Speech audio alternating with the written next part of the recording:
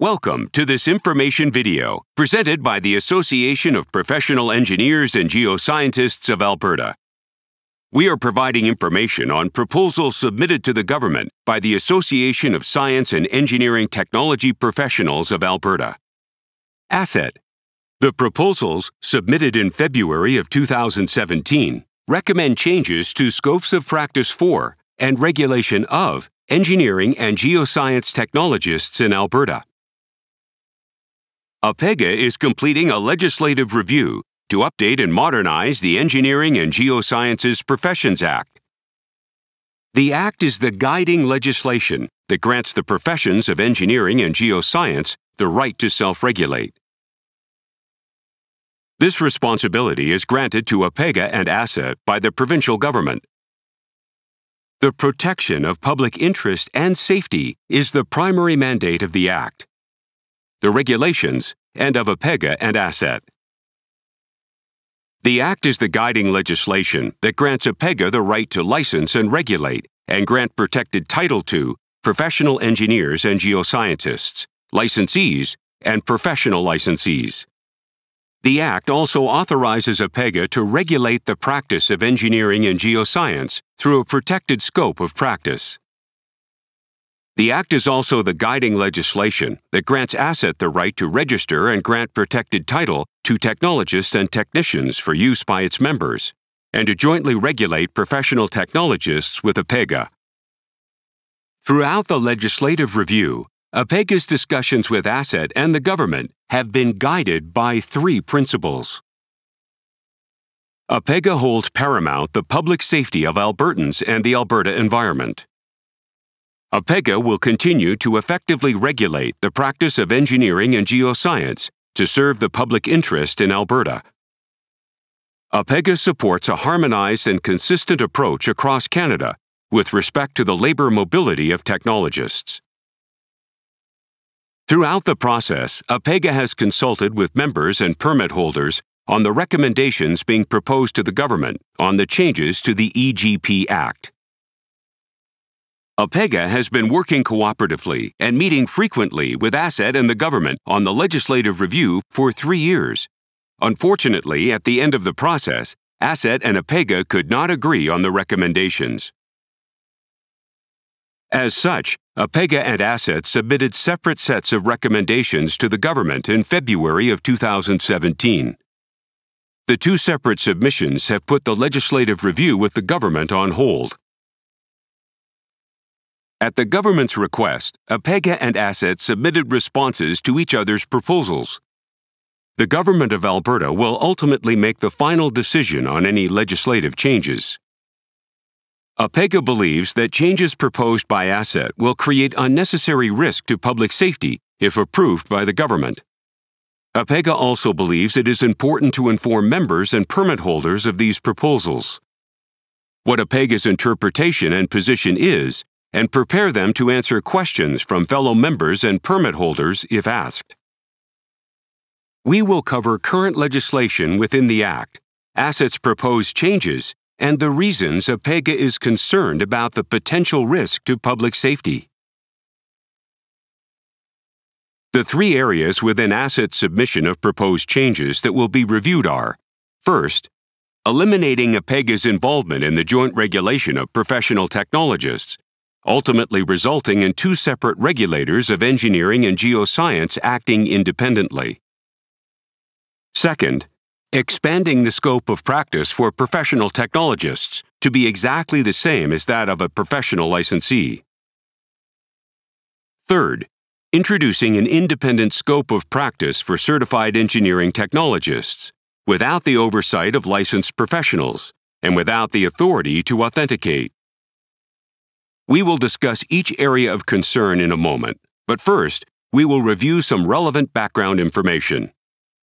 Professional engineers, professional geoscientists, licensees, and professional licensees are licensed and regulated by APEGA. Currently, joint regulation of professional technologists, also referred to as PTECs, is done through joint boards and committees. Boards and committees are made up of an equal number of APEGA and ASET appointed members, and one public member appointed by the Government of Alberta. They are the same as APEGA's current boards and committees and have the same mandate and authority. The Act gives ASET the authority to administer all joint boards and committees, except the Joint Councils Committee. Once licensed through joint regulation, a PTEC becomes an ASET member. Ongoing oversight and regulation of PTECs, including any necessary discipline actions, is the joint accountability of APEGA and ASET through the joint boards and committees. Other categories of technologists and technicians, such as certified engineering technologists, also known as CETs, and certified technicians, also known as CTECs, once registered, become members and are regulated by ASET alone. CETs and CTECs are granted a protected title only and do not have the right to independently practice engineering or geoscience. To understand APEGA's concern, it is helpful to compare the current scopes of practice for professional engineers and geoscientists, professional licensees, and professional technologists. The education and experience requirements for each are indicative of the levels of complexity and competency required to fulfill each role. Professional engineers and professional geoscientists must have a four year university degree, combined with demonstrating four years of acceptable experience. These education and experience requirements prepare professional engineers and geoscientists to undertake complex problem solving, to use complex methodologies, and to apply high degrees of judgment. A professional engineer or geoscientist is licensed with a full scope of practice, meaning they are authorized to practice engineering or geoscience without limitations or exclusions. The shaded area shows the breadth and complexity of a full scope of practice for a professional engineer or geoscientist. A professional licensee, also known as a PL, requires two years of acceptable post secondary education plus six years of acceptable experience, supervised by a licensed professional. Their experience must include and demonstrate two years within their defined PL limited scope of practice. The PL scope of practice is narrower than that of a professional engineer or geoscientist. The PL limited scope is unique to each individual based on their specific experience and requires an individual assessment of their competencies. PLs may work independently and must have demonstrated the ability to apply complex problem solving using complex methodologies within their defined and limited scopes. They may independently authenticate within their limited scope. Professional technologists require two years of acceptable post secondary education, plus six years of acceptable experience, supervised by a licensed professional. Their experience must include and demonstrate two years within their defined PTEC limited scope of practice. PTECs are licensed with a scope of practice that is to problem solve using routine application of existing codes and standards and established methodologies. The PTEC scope of practice is more limited than a PL and is confined to practicing within the application of routine codes and standards and does not move into complex problem solving and methodologies. A PTEC scope is unique to each individual based on their specific experience and requires an individual assessment of their competencies. They may work independently and may authenticate their work within their limited scope. The factors that differentiate a scope of practice for a professional engineer or geoscientist, a professional licensee, and a professional technologist are education and the evidence demonstrating experience using complex problem solving and methodologies, and the ability to apply a high degree of judgment. Complex problem solving and complex methodologies are vital in situations where the code or standard is not prescriptive and may only stipulate the outcome to be achieved without specific directions on how to achieve the outcome. We will now review APEGA's responses to the government on the three changes proposed by ASET. First, APEGA does not support ASET's proposal to eliminate joint regulation of PTECs. APEGA's sole mandate is to regulate the practice of engineering and geoscience in the public interest. P-TECHs practice engineering and geoscience within a limited scope. As such, APEGA must be involved in the regulation of P-TECHs. It is important that professional engineers and geoscientists be involved in determining the boundaries between routine codes and standards versus complex problem solving and complex methodologies. They understand the full scope of practice and can best determine limited scopes of practice based on education and experience. The removal of joint boards and committees would result in two regulators of engineering and geoscience acting independently. This introduces risks associated with unclear and inappropriate scopes of practice that could jeopardize public interest and safety. To maintain Albertans' confidence in the integrity and quality of engineering and geoscience in Alberta, APEGA must maintain legislated oversight of the practice of engineering and geoscience and must be involved in determining the scopes of practice of everyone who practices engineering and geoscience. The second ASET proposal that APEGA does not support is expanding the scope of practice for P-TECHs. ASET is proposing that professional technologists be given the same scope of practice as professional licensees, including the authority to authenticate and take responsibility for their work. This proposes that a P-TECH can undertake complex problem solving using complex methodologies and applying high levels of judgment. ASET's proposal to simply expand the P-TECH scope to be equivalent to a PL scope without the demonstrated experience requirements puts the public at risk. Before an individual is given a limited license to practice using complex methodologies, they must provide evidence that they have the necessary competency within that scope Although some individual P-TECHs may be able to demonstrate appropriate experience and competency within an expanded scope, there is a high risk to public safety to automatically apply an expanded scope to all P-TECHs. The assessment of whether a technologist has the competency to practice in an expanded PL scope beyond their codified P-TECH scope must be done by APEGA as the regulator that assesses the qualifications of individuals for higher level complex engineering and geoscience licensure that go beyond codes and standards. Qualified P-TECHs have an existing pathway to an expanded scope of practice through the APEGA Professional Licensee designation and scope of practice. The P-TECH designation within an independent scope of practice exists only in Alberta. Because of this, there are currently labor mobility issues across Canada as it is not recognized in other jurisdictions.